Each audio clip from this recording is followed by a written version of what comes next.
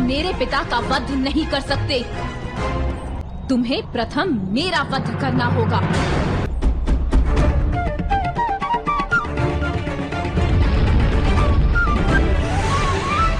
अद्भुत हो तुम द्रौपदी। धर्म की स्थापना के लिए मुझे जिन दो शस्त्रों की आवश्यकता होगी उनमें से एक तुम हो और दूसरा अर्जुन। क्या हुआ अर्जुन? माता किसी स्त्री के रोने की आवाज़ आ रही है। ठहरो! कौन हो तुम? और इस मायावी वन में अकेली क्या कर रही हो? अब राक्षस है या मनुष्य? अगर राक्षस होता तो तुमसे पूछता कि तुम्हें तल के खाऊं या भून के? और बताओ कौन हो तुम? मेरे सारे परिवार को ये राक्षस खा गए। मैं किसी प्रकार वहाँ से बच निकली पर अब इस वन से बाहर निकलने का मार्ग ही नहीं मिलता। मेरे साथ चलो। हम तुम्हारा रक्षण करेंगे।